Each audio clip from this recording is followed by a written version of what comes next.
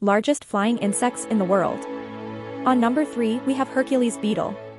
The Hercules beetle is a type of rhinoceros beetle, a subfamily of beetles known for their large sizes and unique horns.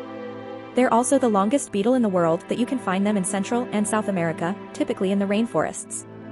Number 2 on our list are Tropidacris grasshoppers. Tropidacris is a genus of grasshopper with three species, all found in Central and Southern America. They're some of the largest species of grasshoppers in the entire world, as well as some of the largest flying insects, with wingspans up to 9.1 inches. On number 1 we have giant water bug. When you think of water bugs, you probably don't think of an airborne insect.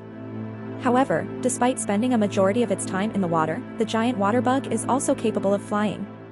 The giant water bug can grow to lengths around 2.5 inches. If you liked this video please like and subscribe to the channel, thank you.